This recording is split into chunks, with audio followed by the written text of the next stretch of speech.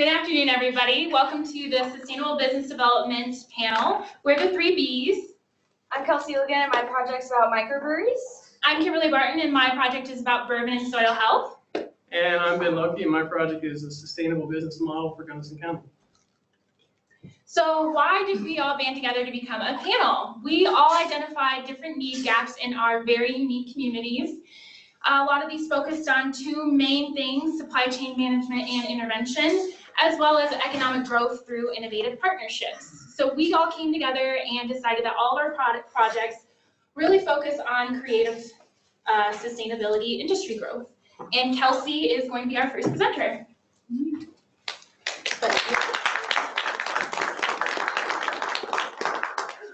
All right, good afternoon, everybody. Thank you guys so much for being here, and thank all of you for watching at a distance as well. We really appreciate it.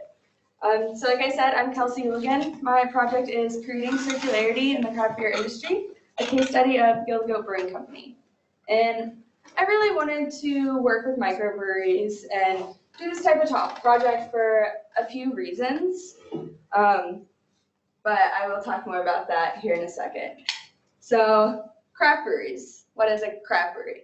Um, the Brewers Association defines this as a brewery that is small, independent, and traditional. And small in this sense actually isn't as small as you would think. It's more relative compared to some of the Goliaths we know in the larger beer industry like AB InBev or Miller Coors. So small in this sense is under 6 million barrels a year. Still a lot. If you think of Sam Adams Brewing Company, they're the largest microbrewery across the US. So that's the scale there. Uh, and within the craft beer industry, it's taking off like no other. So on this graph here on the right, you can see it's just going straight up. From 2014 to 2018 alone, in four years, the number of breweries across the US, craft breweries, um, nearly doubled. So they went from 3,814 to 7,346. It's a lot of breweries. And the majority of this growth has been the microbrewery sector, which now takes up 61% of the entire market. And I also, so going back to why I really wanted to work with microbreweries. To me, it's a, it's a really unique industry, the craft beer industry is itself. Uh, they really focus on a few things and really are passionate, caring, and don't think of their product at the end of the line as production and a dollar sign. It's it's the ingredients, it's the community, it's the people who made it. And you know, it's it's these three values. Sorry, my font got a little wonky here, guys. Um, but community, collaboration, and being local. These are three pretty consistent themes within craft beer and microbreweries in particular. And the Goat Brewing Company, which is the brewery I got to work on directly for the past year and a half, um, really focuses on these and has since they started just over two years ago. Uh, we work with local companies like Harbinger Coffee that are added into our beers, but we also work with local malting companies, local hop growers, and really consider the community aspects and collaboration, not just within the community and within our sector, but on a national scale. And, you know, these values make it such an interesting dynamic because most industries don't have collaboration. It's it's more competitive. It is that dollar sign at the end of the line. And in this sense, it's more about building the knowledge and understanding of what goes into beer instead of, you know, what you're drinking at the end of the line. Way, sorry. So when I first started my project, I really dove into the various steps of the brewing process. And most people think of water and grain when they think of beer. So these top pictures here in the mash tun. But a lot of people don't necessarily think about all the technical sides of the brewing process and how much more goes into it than just hops, water, yeast, and grain, typically barley. But you water the beer, you pump it into this kettle where it boils, then you're transferring that again to these fermenters, and then transferring to package. And in here you have different heating and cooling systems within. So you're using more energy at each step. You're using more water at each step to rinse. And then after it's all produced, you still have to go back and sanitize. So it's an entire extra process essentially on top of this that, you know, creates a more resource intensive industry than most people think. And on these microbrewery scales, it can be really hard to make efficient steps and processes because it's easier to do that on a larger scale when you have not only the more money and more time, but you have more opportunity and scalability, so you can use the same amount of water and make a lot more beer. It's just how it works. And so these microbreweries don't have necessarily the tools or resources provided to them as the sector is growing at such a rate um, to do this. So I learned a lot about the brewing process um, directly with Charlie Hawksmeyer, my uh, community sponsor.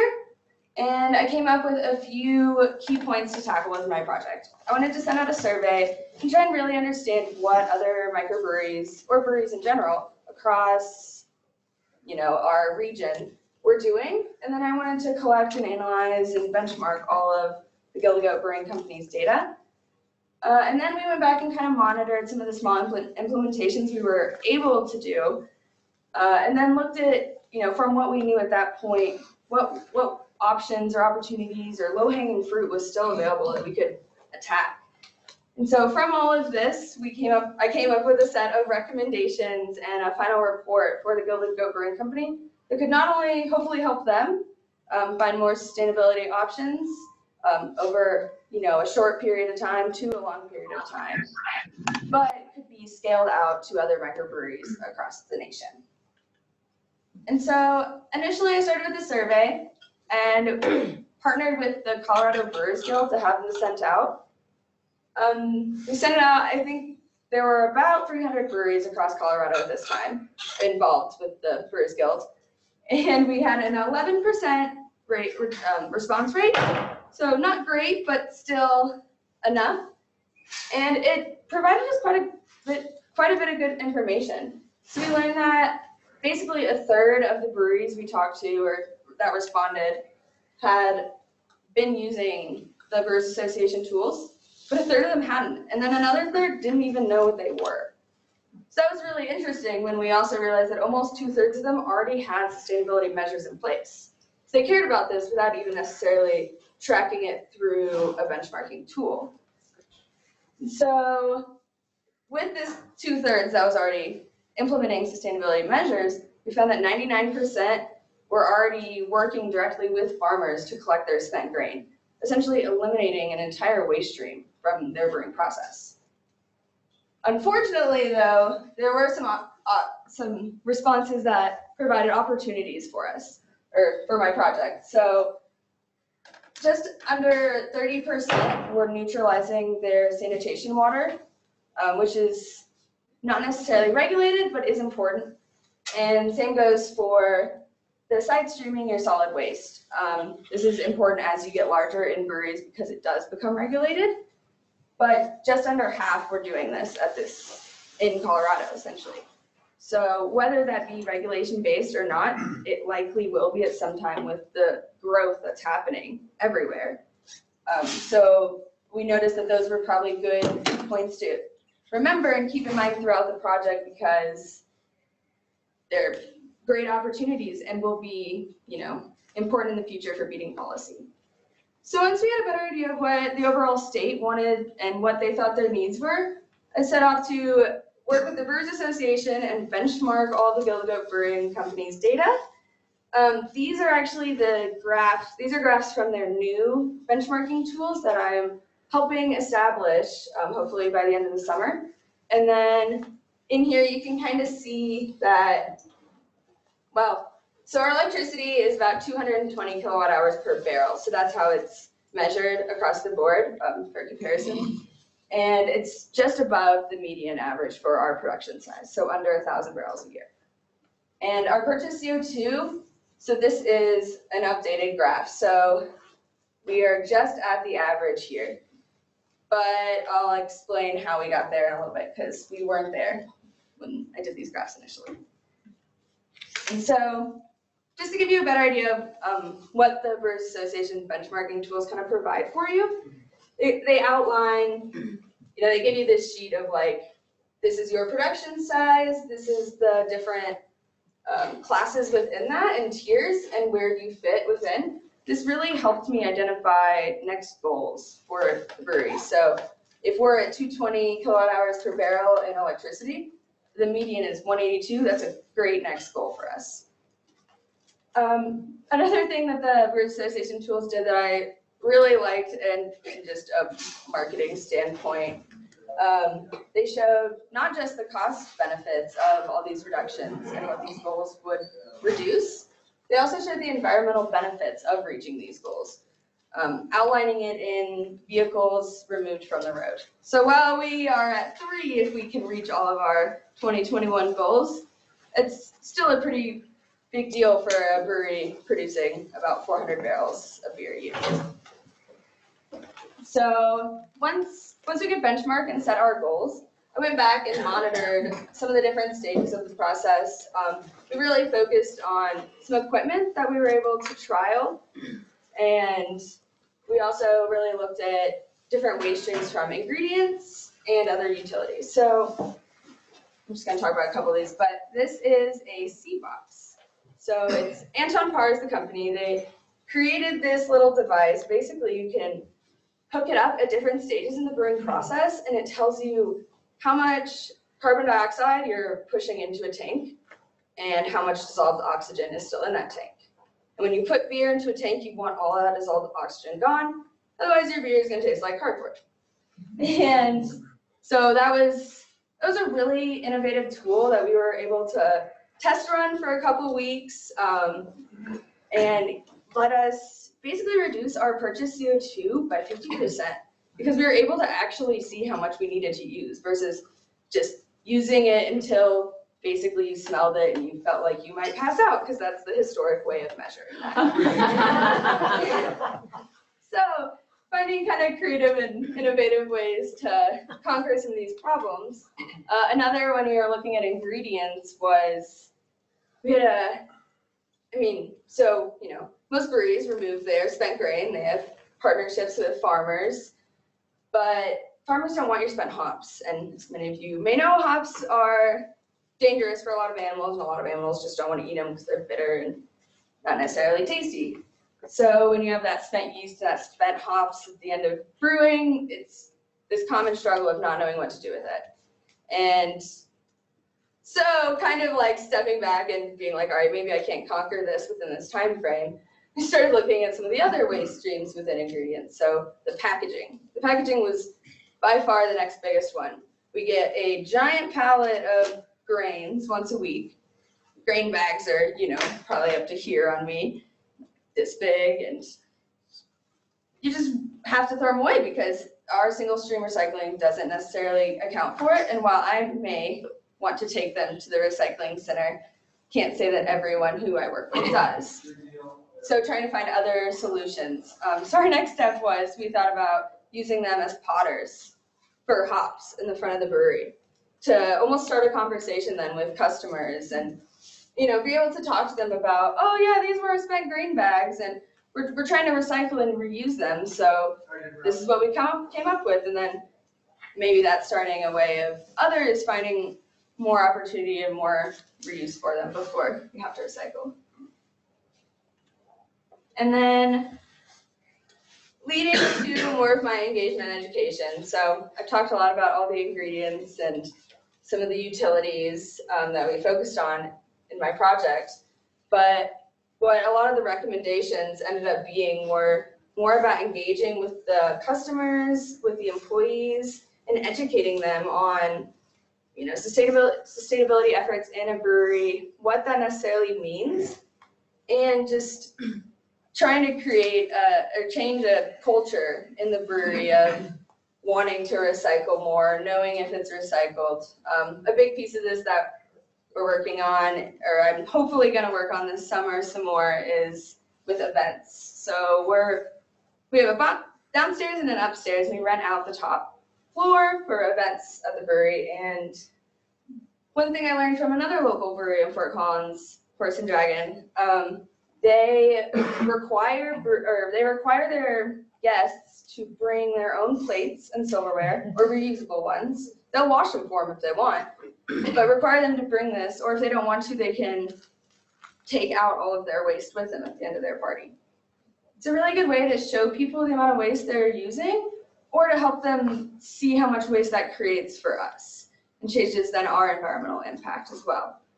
So just trying to create a conversation and engage as many people, not just within the brewery, but within the community to ultimately create a new culture and norm within microbreweries as they just grow and grow and grow. So I just want to send out a huge thank you to Charlie and everyone at the Gilded Goat watching right now, um, as well as Belle. Thank you so much for everything you've done for me over the past two years. Uh, the Brewers Association, the Colorado Brewers Guild, and all my family and friends who are watching and are here. And you guys.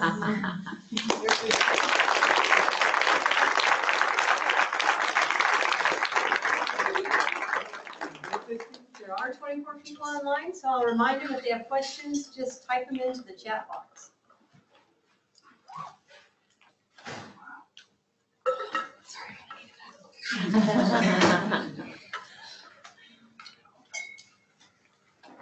Yeah. So you're talking about, um, sort of the byproducts of some of this spent grain and how there's no good solution for it.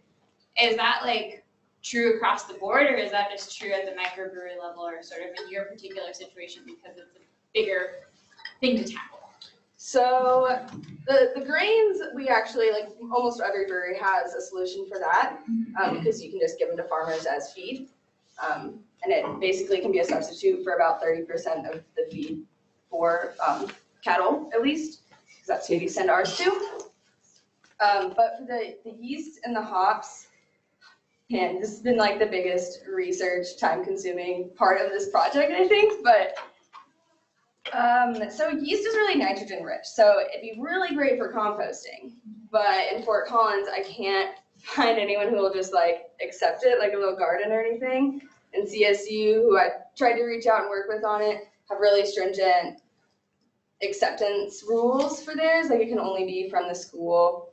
Um, so I've been working more, and I actually like the day before I left saw this like composting car driving by and they like collect, come drive around and like collect compost. And as soon as I, I was like, wow, I hadn't like thought about anything like that because I hadn't seen anything like that in Fort Collins. So that is the next step. But yeah, across the board, most breweries just have to separate it and then dispose of it. There's use it for energy, I guess. Maybe know, I don't know. Eventually, the future, maybe. Fancy. Um, you highlighted some of the environmental benefits, but did you also look at some of the financial benefits of some of the solutions you were recommended? Yeah, so in those tools, they have like a whole page basically of, you know, if your usage is at this, at- with your baseline, and then your cost is at this, and you can change the cost for like your goal setting and stuff. Um, you, it basically equates it for you and lets you know, this is how much your reduction would be. Um, and basically how much like you would save from that reduction then too. So yeah, they did, they do provide a lot of, and they're actually gonna be doing more of that with the new tools. It's just way better set up, so you can input if you're, you know, if you have solar panels and if those are producing energy and how much that would offset your other electricity and if you would gain or lose, I don't know, all of those things. And it's gotten really complicated, but it's really awesome because it's needed with such an intricate industry at this point. Got an online one? I got a comment and one question. One is to try Happy Heart Farm from Genevieve. She suggests trying that for the Okay, cool. composting. And then, um, why do you think you had such a low response rate with your survey if microbreweries tend towards a deeper environmental ethic compared to other industries? Do you think the survey responses were more likely to come from more sustainability-minded facilities? So, well, one of the issues we realized with the survey is that we sent it out at like the time of the year where all of the big conventions and conferences and all these things are going on, and so that was, you know, a little bit of a struggle. Um, I also think that breweries get blown up with so many emails, like the brewers themselves, and have such little staff on hand for that. That they're the only ones responding to those, so can't always necessarily reply to every survey. I think we, we sent it out and then sent it out like a couple days later as a reminder almost. Yeah, um, but that is exactly the case for the Brewers Association and their benchmarking tools. Like they have such a low response rate, and that's why we're totally revamping them and using Excel and not some fancy program because we think it'll be the easiest way to get more people on board with using a system they already know. There is another one. In your experience, what's the lowest cost, highest impact intervention that a small brewery could implement? Hmm. So I would say it's definitely um, location focused and also, I mean, it depends on, so in Fort Collins, our electricity is a lot cheaper than, say, natural gas. Um, we thought water would be our biggest concern because of our location, but because of our equipment and other steps and processes within that Charlie knows because he's great at what he does. Um, we were able to reduce a lot in that, but I'd say the biggest low cost, high impact one would be probably the carbon dioxide. Because it, it didn't take a lot to get those findings and we immediately, you know, had a reduction by fifty percent. So that was huge on what I got to do at least. But I'm out of time. Thank you guys so much.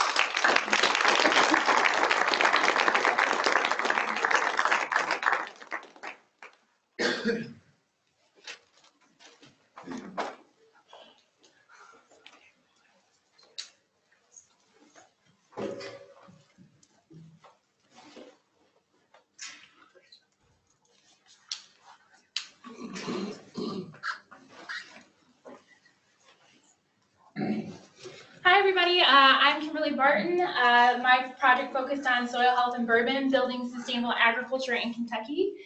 Before I get started, I did want to say thank you to my dad, stepmom, and my fiance for being here today, as well as my coworkers watching from a distance. I also wanted to say thank you to my advisor, Suzanne Yui, for all your guidance and frankly, patience over the last two years. And of course, I wouldn't be here today without the support of the Kentucky Nature Conservancy, without the collaboration and teamwork uh, and guidance from them, we wouldn't have this project today. So when I first started in January or February of 2018, we really had this question of how do we work to create environmental sustainability while maintaining or possibly even increasing financial stability for producers. So we worked with our North American agriculture team, which is part of the Nature Conservancy worldwide, uh, to kind of narrow down some strategies that were really going to work in Kentucky with the culture and environment that we have there. So we narrowed it down to soil health research, supply chain management, and education. And of course, all three of these really feed back into each other and focus a lot on collaboration. None of our work that we've been able to complete over the last year and a half would have been able to be completed without the wonderful partnerships that we've been able to build. For today's purposes, though, I am going to focus on supply, supply chain management, which is our Bourbon project. In January of 2018, my chapter, the Kentucky chapter, and the Tennessee chapter partnered together to com- commission a supply chain study. We started out looking at three different agricultural products, which were cattle, soybean, and corn. Uh, Kentucky is actually the largest cattle producer that side of the Mississippi. Uh, in 2018, we actually ended up adding poultry on as an addendum because we did realize that both Kentucky and Tennessee contribute pretty heavily to the poultry supply chain in the United States. Kentucky is the seventh largest producer for poultry uh, in the US. So we partnered with University of Kentucky to complete this study. What they did was they analyzed everything for each one of these agricultural products from start to finish. So they looked at all of the inputs from equipment, feed, seed, fertilizer, all the way to the end consumer product. And they also focused on who was purchasing agricultural products in region and who was how much of it was being exported out of state. So the final results for that project were shared in September of 2018, and they looked a little bit like this. So this is the corn supply chain for the state of Kentucky. Uh, the University of Kentucky actually broke each of these sections down into industry first, and then into the highest purchasing company within those industries. So as you can see, pretty early on, we identified that distillers are pretty big purchasers of in-region corn sales. So we identified really early on that we wanted to work with the distillery industry on a supply chain project that could potentially implement sustainability metrics for grown corn. But before I get a little bit more into that, I have a question for all of you. What makes bourbon bourbon? Does anybody know? Being made in Kentucky. It actually does not have to be made in Kentucky, although ninety percent of the world's bourbon is produced in Kentucky. It has to be made from corn? It does have to be made from corn. So that is the biggest part of this. Uh, fifty-one percent of bourbon has to be made from corn. Uh, it also can't have any other additives, which is why you don't see like cherry vanilla bourbon and things like that. That's what your mixers are for. So, bourbon and ag. So because fifty-one percent of the bourbon mash has to be made from corn, over fifty percent of the corn used in Kentucky Distillers products comes from Kentucky. So they're already heavily supporting the agricultural industry in our state. This amounts to about ninety thousand acres of corn. Uh, we do actually have the ability to scale that up and increase it to 100 percent. So there is a lot of scalability within the bourbon industry. When we first started looking at this project, we really realized that we really needed to identify key partners to work within the distilling and what that could lead to. So our goals were working with the distilling industry to create soil health metrics for grain used in distilling. So soil health metrics would look like anything from implementing a nutrient management plan to reduce nitrogen and phosphorus that goes into the water, or cover crops, which is a crop that is planted after cash crop, so after your corn is harvested, to protect the soil. It also has a bunch of other benefits. Uh, incentives for producers participating in a sustainability program. This could be anything from a cost share method to help producers implement these sustainability metrics to uh, increasing the price per bushel. So 25, a 25 cent per bushel increase uh, on their purchased grain, which doesn't seem like a lot, but in unstable agricultural times, it really makes a difference to the producer. Marketing claims, I'm gonna get a little bit more into this on the next slide. This is an incentive for both the producer and the company. So a marketing claim is just something the company or producer can say, I'm participating in this program to increase my environmental sustainability. This is why you should purchase my product. And then, of course, reduce environmental impacts. Any sort of sustainable soil health metric that a company ends up implementing with a producer will lead to these reduced environmental impacts that they can measure mm. and again, use in marketing claims. So the company's why. Why would a company want to implement a voluntary program for sustainable agricultural products? There's currently no regulation out there that really encourages companies to do so. So there's really two reasons, for the good of the environment and for the good of the company. And those two reasons really end up being the same reason because they really feed into each other. So for the good of the environment, if they're implementing these sustainable agricultural practices, they're having measurable impact reduction. They're also building a new and more resilient future for that farm producer. So if they're implementing a soil health strategy that's going to reduce nutrient runoff, that means that those nutrients are staying in the soil, which could increase the crop production on that farm. It also decreases environmental impact and can protect both the producer and the company from negative uh, regulation, like violating EPA rules. And for the good of the company, this goes back to that marketing claim. Companies can use these sustainable impacts to make marketing claims. For example, if they're doing cover crops or planting pollinator habitats, they can promote that on their website to meet, reach these new marketing segments. It increases their competitiveness. They can diversify their products. Uh, a lot of you may have seen a few years ago, Cheerios did the Wildflower Project where they did a Save the Bees push and they actually gave out over, over a billion seeds to people to plant wildflower habitats. Now, there were some issues with that campaign, but General Mills' overall partnership with the Xerces Society that helped them come up with that campaign has been highly successful. By 2021, they're hoping to actually plant over 100,000 acres of pollinator habitat because they recognize the need for this. But again, it's also a really positive marketing thing for them because they can say, look how we're helping the environment that support the products that we need. Uh, and beat regulation. So right now in the current political environment, I'm sure most of you are aware, there's not a lot of environmental regulations that are being passed. There are more so at the state level, depending on the state you live in. But when regulation like the Clean Water Act or adaptations to the Clean Water Act start to come down the pipeline, companies can be early adopters to kind of avoid this regulation. So where are we now? Uh, Kentucky TNC began meeting with a major distiller in early spring of 2019. Our role has really been uh, to serve kind of in that consultation role early on. We wanted to meet with a distiller to work together to create some sort of sustainability metric goal. We didn't want to come to them with like an extremely laid out plan because we wanted to have that collaborativeness to work together. Our goal again was to define these sustainability metric, metrics for grown grain, focusing on corn. There are other agricultural products that go into bourbon like barley, wheat, and rye. Uh, some of those are grown in Kentucky, uh, but on a much smaller scale. Uh, determine the system to utilize. So if we are going to engage in these sustainability metrics, is TNC going to serve as the main project manager? Are we going to build, bring in a third-party verification system? Uh, are we maybe going to work with one of the universities in our state to complete some of this work? Excuse me. Will we identify producers to partner with? Do they have contract growers that are supporting their corn already? Or do they just get their products from grain elevators? And if they do get their products from grain elevators, how do these sustainability metrics end up working? And then, of course, developing a project timeline. Is this something that we're going to be able to implement in the next year? Or is it going to take 10, 15 years to get off the ground? So we are actually still engaging with that same distiller. Uh, we've already identified some next steps. The company that we are working with has identified that they do want to implement some scientific measures. They are focused on implementing cover crops uh, as a sustainability metric for their grown grain, starting with a pilot farm uh, with one producer.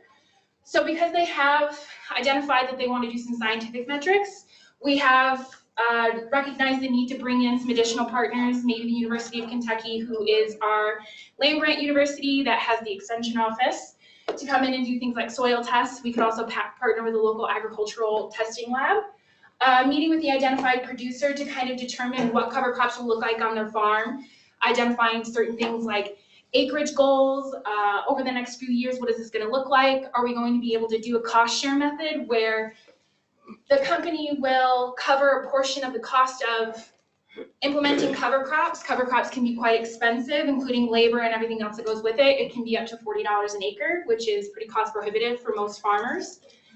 Um, and then hopefully beginning project implementation in 2020. So that will look like cover crops in the late fall, depending on the method that they use. There are opportunities to plant cover crops interseeded, which just means that you get to take a really cool machine and plant cover crops into your already growing corn or soybean product.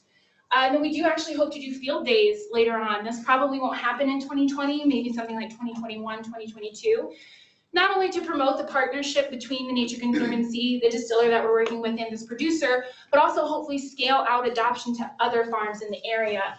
We also want to invite, um, um, potentially invite other distillers to these field days to kind of encourage similar practices across distillers in the state of Kentucky. Long term, we are looking at creating a report that can be published not only in scientific magazines, but popular magazines, something like Food and Wine or Nature, to reach the general public. Again, this is where we're going to get that marketing claim for the company where they can really kind of promote the good work that they've been able to do. And then scaling to other distillers. We have had pretty good meetings with the Kentucky Distillers Association to talk to them about sustainable agricultural inputs, which right now is not something that they're really looking at, but we're hoping that once we kind of have like a case study to show like this is how this worked, this is how we engage with the com- company, and we do recognize that if the Kentucky Distillers Association were to promote something like this, this would not be a one size fit all. Uh, other companies may identify they don't want to do cover crops. Maybe they want to do pollinator habitats or uh, buffers to reduce water impacts and things like that. So there is a lot of wiggle room within this. Um, one of our partners really said it the best. Good soil is good bourbon. So does anybody have any questions? And this is my contact information, just in case anybody has any burning questions they want to send me emails about, and my adorable dog.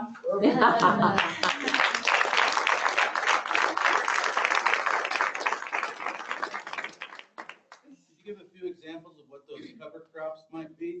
Yeah, sure. Uh, so I do live in Kentucky, so I will give the caveat that these are mixes that are probably going to work best that side of Mississippi because Colorado is higher, way higher elevation, different soil types, those kinds of things.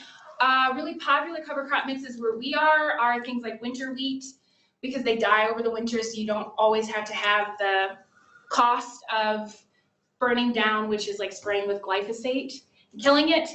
Uh, cereal rye is another one. Uh, there's also a lot of like mixes. Some people will do turnips, radishes, and then clover to kind of increase that water infiltration.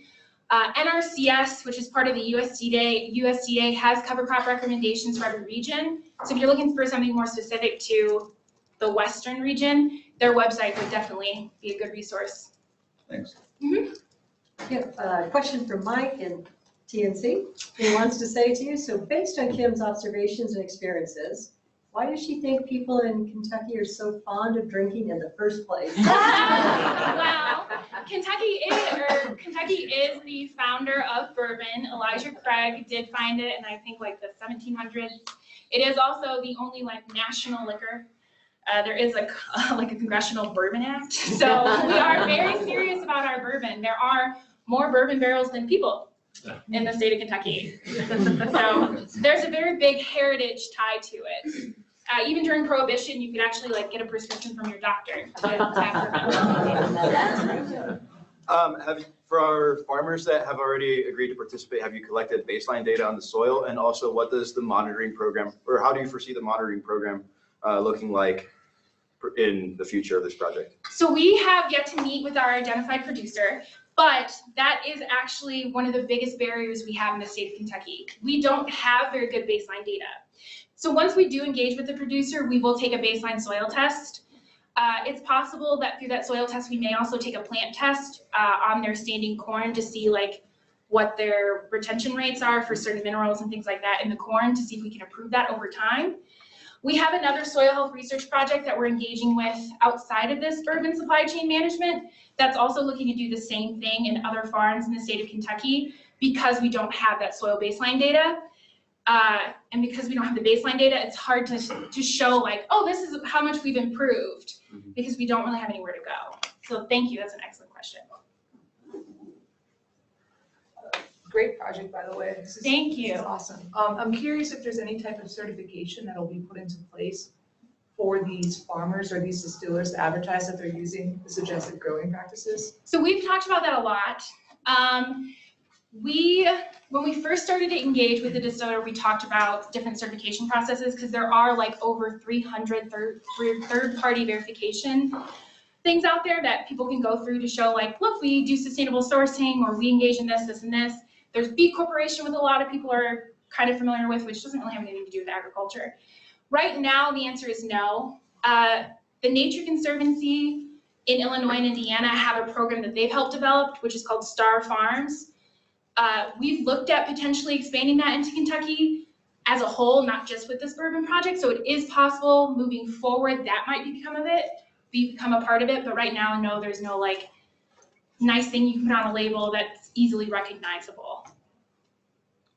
I have a question. Um, do you, is there any word of mouth data or whatever you could call it of soil degradation and taste degradation with bourbon over time? No, and I've actually so Like it ain't made like it used. yeah, exactly. It ain't made like it used to be. The answer is no, and some of that has to do with actually how the distilling process works. So um, there's like small batch bourbon, there's single barrel bourbon, and then there's bourbon. So a lot of like bourbon that you would normally buy is um, they'll take the barrels off the rick house and kind of dump it into one bottling facility and mix it all together. So that kind of stabilizes the flavor. But with this agricultural project, we do have the ability to potentially work with the distiller that we're working with to create a small batch that they then could see if there is a flavor profile difference. Because with cover crops, you are increasing your soil organic matter as well as some of the other nutrients available in the soil, which could potentially change the flavor profile. So it would be interesting to see that. All right, thank you guys.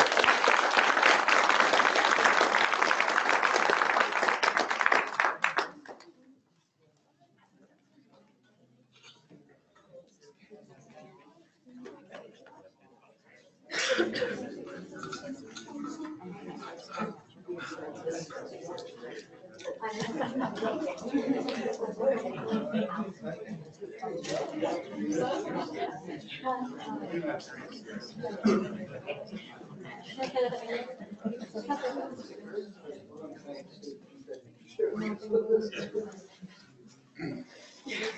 hello everyone.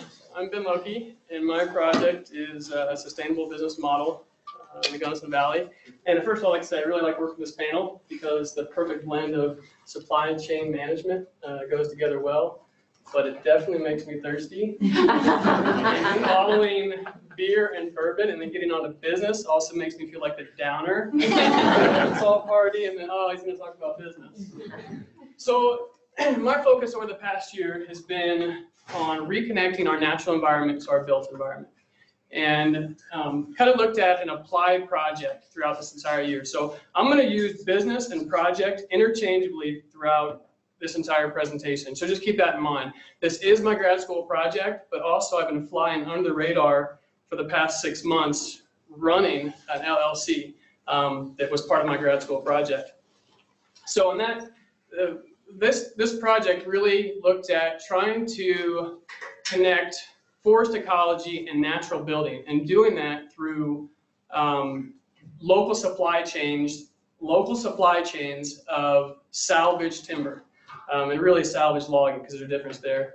And I don't know how many of you really know about salvage logging, um, so I'm going to define that real quick so we can move on. We're all kind of on the same page.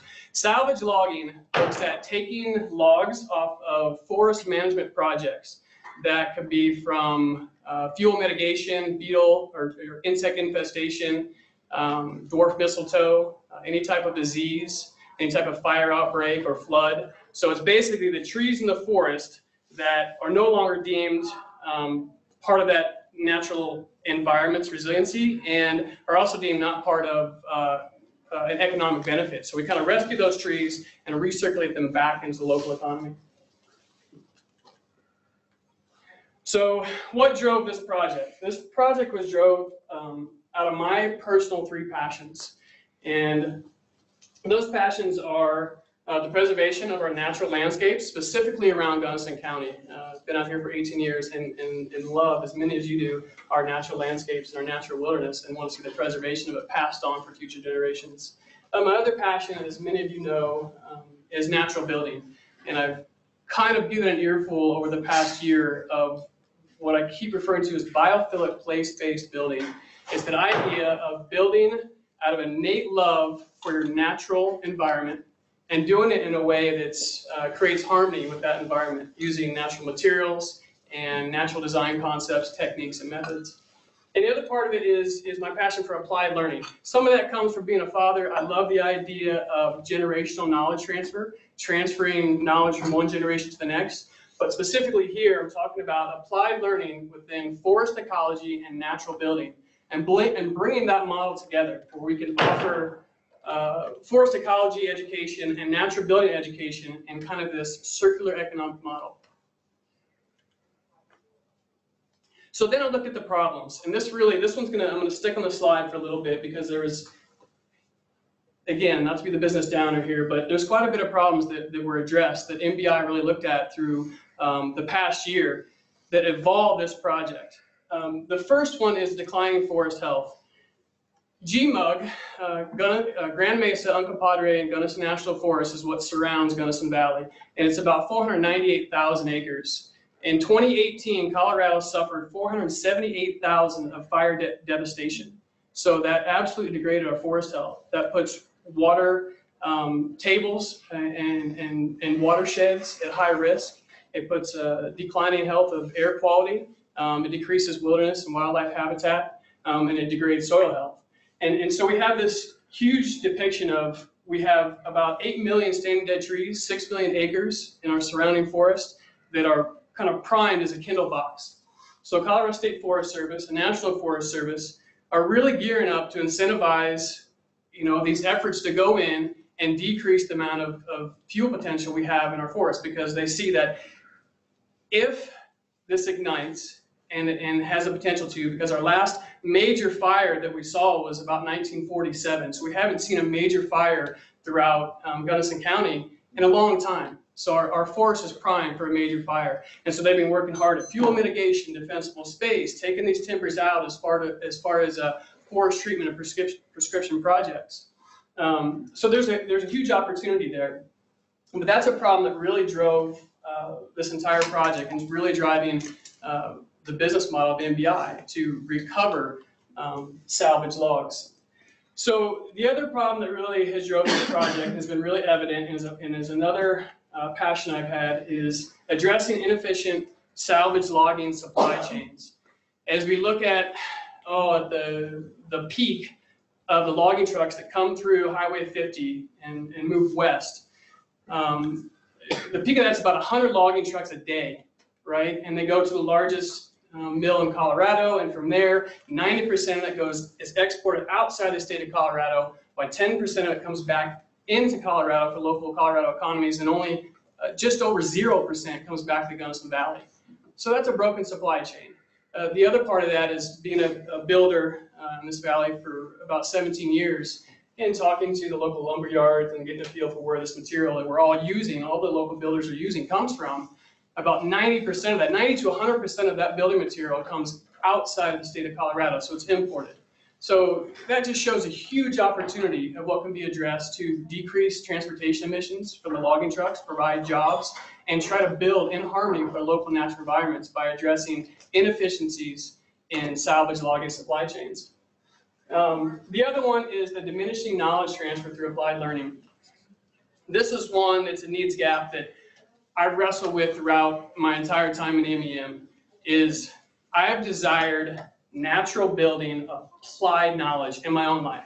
And so I've chased that down for the better part of several years. And I've had some great mentors like Dusty Zamanti who have, who have uh, fortunately given me some of that base knowledge. And, and the rest of it, I've really kind of run through the valley and I see other guys like Killian that are here that are representative of that, that natural design build um, industry that's just barely taken hold and moving in Gunnison Valley. And I've been to other places and been really encouraged by how resilient an economy can be when they tap into natural building and they build in harmony with their, their local natural environment using local natural resources. So, long story short, there's not enough of it. Uh, so the opportunities, and that goes right back to my passion. So lu- luckily for me, um, the opportunities coincide with my passions. Um, the opportunities are to promote forest health. Natural Building Innovations aims to promote forest health by working in collaborative, uh, in a collaborative approach with local, state, and national forest or forest organizations. Um, I see Scott Sorensen still in the room. Or did you walk out? Oh yeah. So one of my partners here is, is Scott uh, Sorensen from. Um, uh, oh God. Mountain Treescapes. Thank you. I just had the worst brain fart in my life. uh, of Mountain Treescape. So we've been working together, and we've we've actually had three retrievals with um, Mountain Treescapes and Scott Sorensen.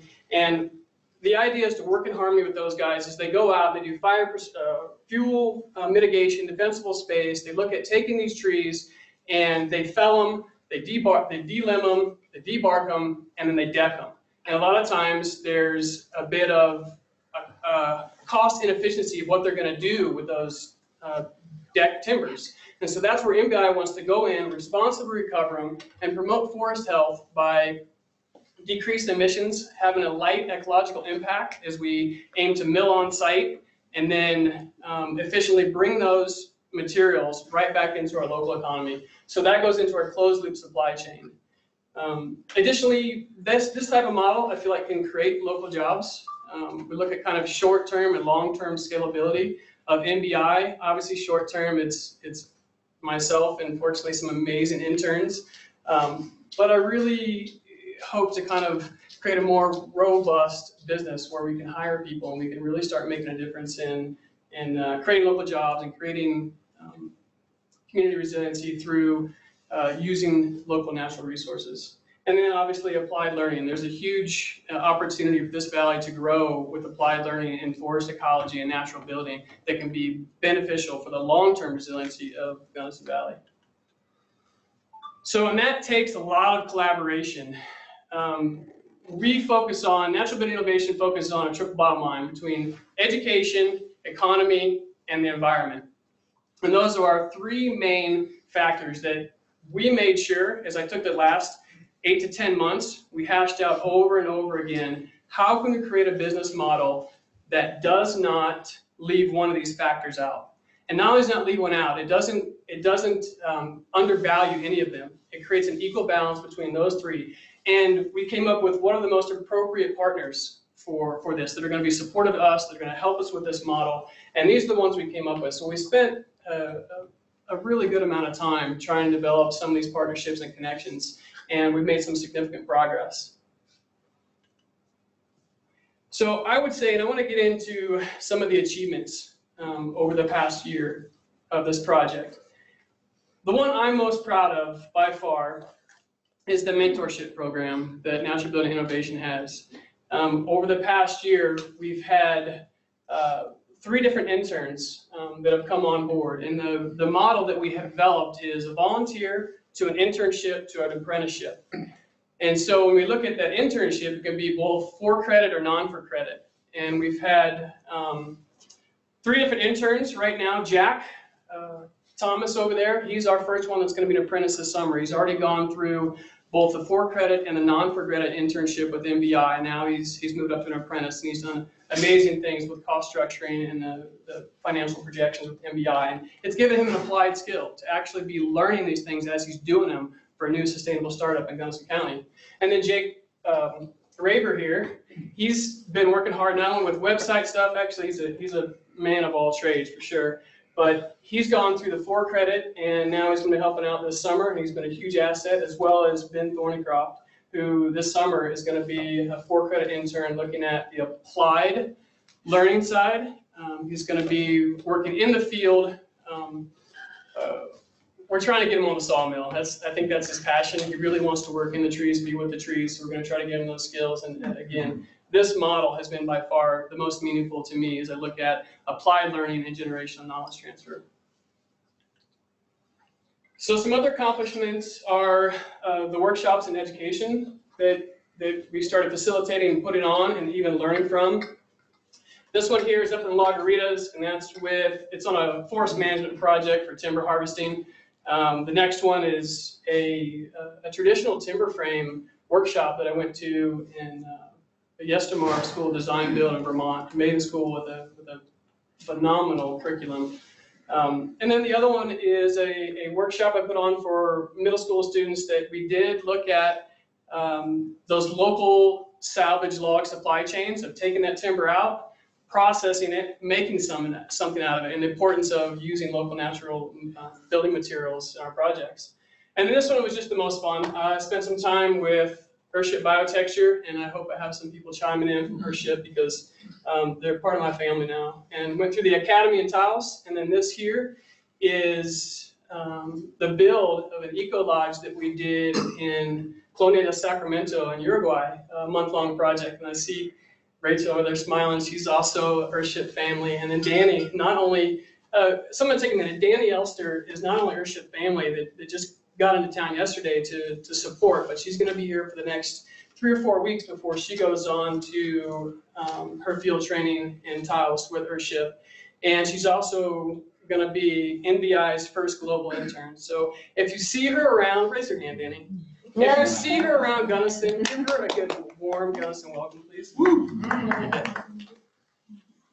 Um, okay, so looking at further accomplishments, um, low ecological impact was uh, one of the things we're really aiming to do as, and this is a great picture because this was our first retrieval and all of us have really chuckled at one, how muddy and rainy it was, but two, how we really hope to get the funding we need to get a little more advanced in this primitive style of, of retrieving logs. But um, low ecological impact as we mill on site, as we assess um, um, the minimal impact we can do in the forest as we're retrieving.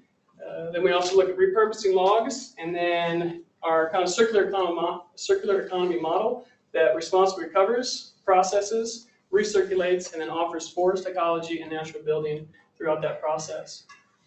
Um, so other ones in the economic area, uh, diverse accomplishments, and I'll skip through a lot of these, but the one I'll point out is uh, Jan Swift from Swift House Design just recently launched naturalbuildinginnovations.com. It's our website. So if you get a chance, check that out. We're just getting rolling with that, and that's part of our business structure. And then uh, we're having some help and assistance from CDPHE, E, which has been an amazing benefit to us for uh, the resources they provide and uh, the funding they've also provided for us. So where are we now? Um, we have Avalanche Park project coming up uh, about the first two weeks of June, where we're aiming to responsibly recover as far uh, from a forest treatment project just south of Crestview by about a mile, where they have beetle kill, uh, beetle infestation, and dwarf mistletoe. And then we have uh, some proposed land, um, some employees and interns, and again, the generous $5,000 next cycle um, grant as well as scholarship they've offered. And a special thanks to all these people.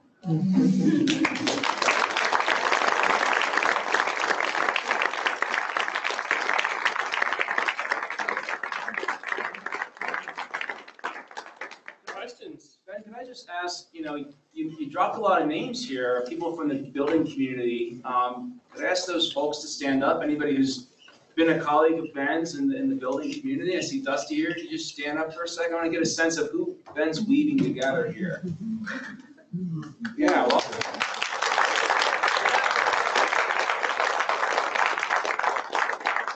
Talk about that, talk about that process, Ben? Because it's a small valley, uh, highly competitive industry that, you know, can be boom bust. Um, where are you seeing collaboration come from instead of just competition? Uh, one is, I think it's vital. I think especially with a guy like me coming in with, with kind of a big idea like this, and, and especially my approach, somebody that knows me is a little bit of a head down approach. Um, uh, lead with the forehead. But these guys, and not just the local natural builders and uh, Eric Jansen kind of representing um, uh, basically policy and, and building inspector uh, here in Gunnison, but also bringing together bringing together Colorado State Forest Service, National Forest Service, and having this approach to tackling uh, not only supply chains, but then also that education. And we have a lot of pushback. And I'll say, I'll say this. Over the past year, one of the biggest challenges has been um, the skepticism to a, a model like this. And um, a lot of conversation, see guys, thanks for coming. And a lot of that skepticism, I think, comes from uh, the lack of collaboration. We have a lot of people kind of off in their own elements, doing their own thing, that really want to see this happen. Most people want local supply chains. Lo- most people want to build in harmony with the local natural environment. Most people want local natural materials. Most people want um, the good feel of a home that they can walk through like this. This connects me to the natural environment. Most people want solutions for, uh, within the building sector. Um, but bringing this team together, bringing these people together and identifying them has been uh, not only a very challenging process, but a very rewarding one, beneficial one. So, yeah, this is this is definitely not a, a Ben Loken NBI thing. This is this won't happen unless that collaboration really takes root. Question from Genevieve. How are you developing sales now and to whom? What happens with the byproducts from the on-site milling?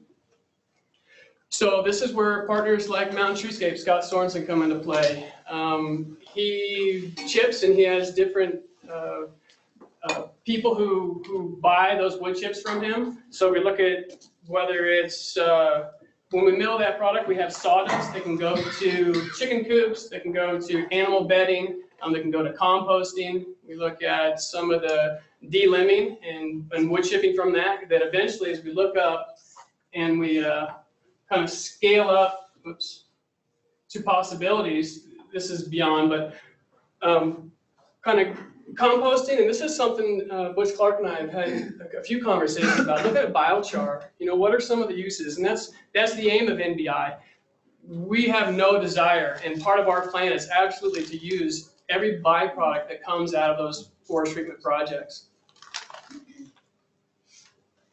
Any others? How exactly have you been marketing your brand? Um, a lot of word of mouth so far. So do you have a target audience in the community? Yeah, the target audience is definitely going to be. Um,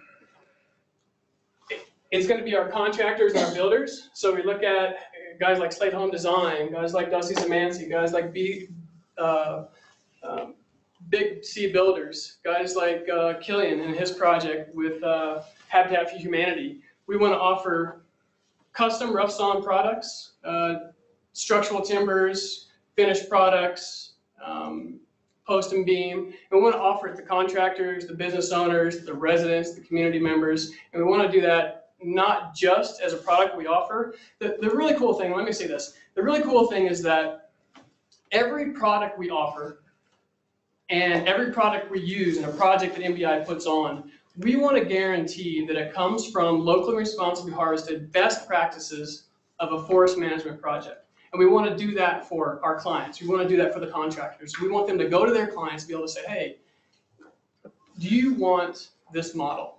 Do you want to have these locally responsibly harvested materials on this project? And we're, we're gambling that people do. And that's something that time will tell. Another, One more. uh, both comment from the distance and question. The comment is, thank you to the School of Environment and Sustainability for streaming these presentations. The question is, Ben, how do you teach your city sister and family to buy it, buy into all nature? How do I teach what? Your city sister and family to buy into all nature, Oh, I think, all natural. Oh, that's my sister, no wonder. I, I would hope by now, um, just living that example, that, that's all I can do, that's all we can all do. And, and I'll give one really quick reference from Ir- um, Iracombe, a lady that said, there's a huge fire in the forest and one bird takes a drop out of, out of a lake and is flying back and forth and spitting that drop into that forest as the other birds are mocking. And they say, why, don't you know that's completely pointless? And, and that bird kind of responds, but it's all I know how to do and it's my part, so I'm gonna do it. Thank you all very much.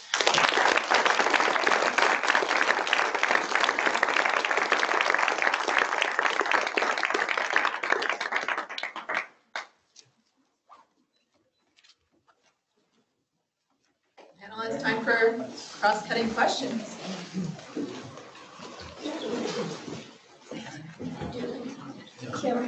Which bee comes first? Just about, oh, Beer. maybe time. Yeah, yeah, yeah. The way we live. I- So with, um, Wait, Hold, I hold the didn't floor, hear you uh, say this. let's, let's have a little Q and A here. Uh, Amanda, Amanda. go ahead. You may not hear me, but I'm talking. I got you, yeah. I can't hear you. Um, Start over. So the, um, I'm just wondering, like, in this work, have there been any projections, or I didn't hear that conversation about the increase in yield that Yes. the, the cover crops and the intercropping will provide, and just what an economic benefit that provides the farmer as well? So that is something that uh, we are really interested in as the Nature Conservancy is uh, conducting that soil health research to show that economic benefit to the farmer.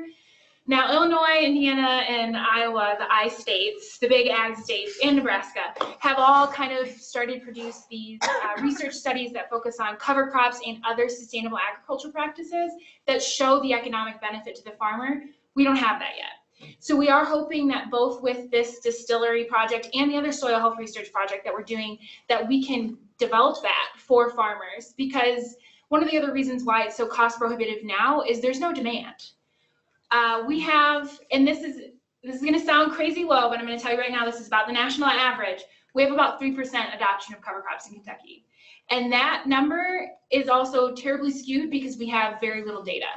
Uh, some people will tell you it's more, some people will tell you it's less. There's no data collection. So we're really working hard to drive that data collection so we at least, we know, you know? So, thank you. Ben, amazing work. That is just so exciting. Do you see um, more connection to MEM? Having MEM students, do you see projects in the future? Um, Yeah, yeah, absolutely. My, my dream, I, I think my dream stems from a lot of people's dream. I, I'd love to see an entire master's program or undergrad program that really implements and offers applied learning in natural ability and ecology. And I've, and I've been impressed. I've seen progress in that. There's been some, some great efforts, uh, just with recent connections. And uh, I see, you know, Coop doing some amazing things with forest ecology. So there's advancement in that. I see great opportunity and, and I don't see great opportunity. I think, I think it's absolutely necessary. And I think there's a huge appetite for it. I think um, younger generations coming into uh, academic institutions are craving applied learning and skill sets that really offer them the ability to go on from there with something that's tangible, that, that creates self-reliance, that, cr- that empowers them to go on with their lives. Awesome. Does the National Forest help y'all? Are they interested in you harvesting their trees or not? Absolutely. So I'm, I'm a little guy, um, for sure. And I've had several com, this has been the, the, probably the funnest part of my project is sitting with guys like Sam Pankratz, uh, Mike Tarantino, Art Haynes, the guys who, who, they know what they're talking about. They know what they're doing. They put their ear to the forest for, for decades, especially Art Haynes. And conversations with them. And I would think, honestly, that's what's kept me going um, when I have pushback from other sectors, then I sit with those guys. And not only are they supportive, but they're en- encouraged, and obviously they have to be impartial. They can't show favoritism to any forestry organization. But at the same time, the support they've given for this direction and how they say it's absolutely necessary. They're overworked, they're overstressed, the challenges they have are too big. Small sustainable startups that address fuel mitigation, treatments and prescriptions, going in and helping on thinning projects in any way, they're all about it.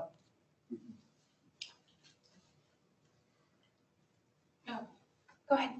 Yeah, yeah. As a question for Ben, um, do you think there's any willingness from the county or the city or even the town of Crested Butte to use some of this timber for, uh, either remodels or new public buildings? I mean, I'm just thinking, the Center for the Arts was just built and I feel like there should be some engagement there with something that is Absolutely. doing good overall for us in the long term. Yeah, and, and Eric Jansen just snuck out, otherwise I would totally put him on the spot. Oh. So he's a building inspector here, uh, that that just, he had to leave. But, um, our boys play soccer together. This is the great thing about living in this valley. We sit and, and kind of bullshit about like this type of model and, and the future of it and how the need is for it. And I kind of look at him and I say, what kind of pushback am I gonna get? And he's very transparent. He says, no, I think the time is now. I think it's time to go. We're, we're looking at guys like Killian that have a, um, Habitat for Humanity project where he's, uh, approached NBI and said, hey, are you at a point where you're ready to start providing materials for this project? And my response is, is the community ready for me to do that? Can I start, um, processing these materials and even the structural materials and offer them back on these projects without getting just a ton of red tape and pushback? And Eric Jansen reassured me, absolutely, go for it. Awesome. Kill it. I just have a, a comment, or in addition to that, uh, Eric has been amazingly supportive in that regard. And uh, we just Monday approved all, nearly all local lumber for their Habitat project, um, with the local engineer, Jerry Green. So it's totally possible. Yeah. Now it's just a matter of somebody dropping a couple bags of money off for NBI. So I see you guys have like really thought through and been thought leaders for three separate industries. Have you thought about taking what you learned and what you've gained and sharing with the industry, like at conferences or speaking engagements, Oh, 100%.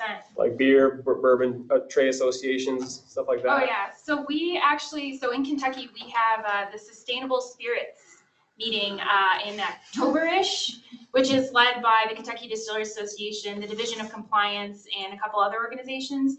So this year, we could potentially present at that meeting what we're doing, but we're hoping more so that we might do it next year because we're gonna have actual data uh, and like lessons learned and shared knowledge available at that point. So we've already kind of like built that into our model that yes, we want to, we want to promote this because we want to take a non-regulatory approach to sustainability. We want companies and producers to have the opportunity to participate voluntarily instead of being like, well, let's go the other way and work with the Division of Ag to make some sort of weird regulation, um, because that just doesn't seem to work. Yeah, I actually, uh, well, my community sponsor helped me send my project to um, a big convention this summer in New Orleans. It's the American Society of Brewing Chemists. So I will be presenting this again there on a poster. So yes. Yeah, so we just, and I mentioned um, CDPHE um, and the NextCycle program, we just got done here a couple weeks ago pitching in Denver. They invited us out um, as part of uh, incubator program to really help us pitch and market better, and really for them, I think, to assess where we're at. So we want to engage them. We want to, we absolutely have to have their support, and uh, it's going to be vital for, for us to continue. I think uh, Bay Area Brewers is looking for even more integration. They ask, how about a combo bourbon distillery, brewery, and an all-natural building?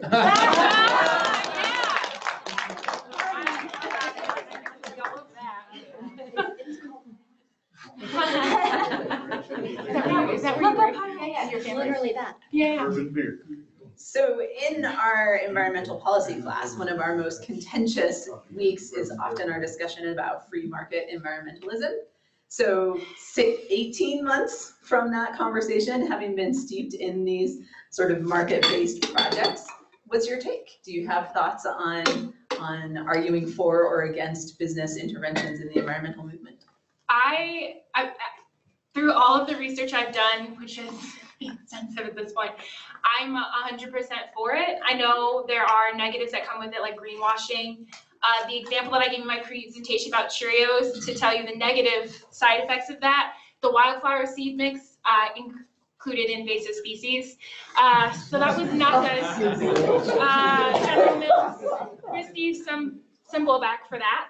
Uh, but overall, I really think that encouraging companies to work with producers to provide, to provide incentives to engage in sustainable agriculture is, is the way to go. Uh, to give a positive example, Wrangler has partnered with the Soil Health Institute, uh, TNC's been involved, the World Cotton Organization to develop sustainable agricultural practices for cotton producers in the American South. Uh, they've worked with, they started in Alabama, they've scaled out to Georgia, Tennessee, I think North Carolina to work with producers and they're just now coming out with their first sustainable brand of jeans. And to me, like that's that's impressive. Like that's and they're they're cost effective. It's it's really the to me the smarter way to go.